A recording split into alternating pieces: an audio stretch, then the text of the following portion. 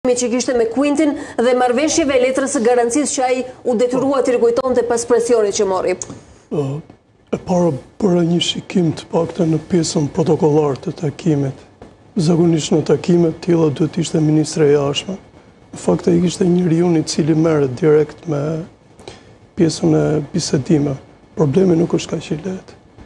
Thamë diçka më përpara, asociacioni është detyrim dhe qeveria Kurti dhe të gjithë njerëzit e opozitës së Kosovës që tani fshihen, duhet të kuptojnë që çdo material i cili firmoset nga ministri i jashtëm, nga presidenti, nga kryeministri, është obligativ. Të gjitha marrëveshjet kanë valencë detyruese për të dyja palët, zoti Andoni. Në këtë rast po flasim për mbivendosjen e këtij kushti me një proces tjetër paralel, që është anëtarësimi në Këshillin e Evropës. A duhej përdorur? Patjetër. Si patjetër? Sepse Bashkimi Europian deri tani, bashkë me Shtetet e Bashkuara të Amerikës, kanë dështuar me dialogun. Tashmë në ditët tona duhet dialog për dialogun. Jemi kthyer shumë pas, madje jemi kthyer në 2013. Dhe sensi për të fituar kohë, është tashmë nga Bashkimi Europian, që bëhet nëpërmjet ambasadorve të Kuintit. Dhe detyrimi kryesor është detyrimi për asociacionin, që ne dim shumë mirë, që asgjë nuk do ndryshojë në marrëdhëniet me Serbinë, Serbia do nxjerri asin tjetër nga dora për të për ta konfliktuar problemin. Çfarë duhet t'ju them? Në momentin që po flasim, ju e dini që është vetëm një draft zyrtar i pregatitur nga komuniteti serb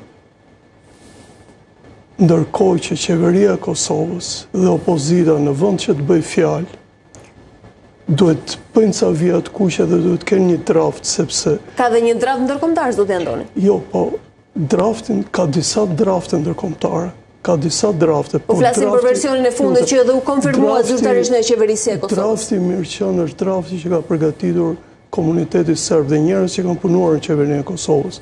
Dhe ne e dimë shumë mirë që ai po të ikë në Gjykatë Kushtetuese, ai kthehet automatikisht. Dhe ky është momenti që njerëzit në Kosovë, politikanët, duhet të dinin përballë çfarë situate. Ndërkohë në variabël kemi diçka tjetër që ne nuk e prekim. Që është? Në vitin 2000 kushtetutën, në vitin 2008 Kosova u shpallë e pavarur. Dhe me dokumentin e Atisarit, një dokument i maturuar mirë, shumë i kujdeshëm, që i hapi udhën Kosovës për pavarësi. 1244? Mbas 1200, duhesh mbas 1244, duhesh bërë diçka që Serbia duhesh mbajtur pending, përsa i përket bërjes së kushtetutës. Tashmë çdo gjë që thuhet, Nuk e detyron një vend që në Kushtetutë e kanë preambulë të vet që të bëjnë ndryshime.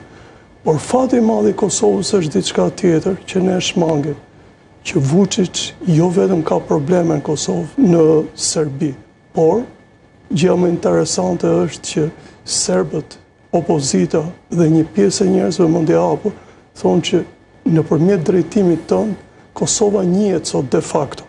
Dhe fakti ashtu është. Kosova nuk njihet de jure nga Serbia, Kosova njihet de facto. Po, përmes ndërveprimit, de facto e ka njohur Serbia prej kohësh. Po.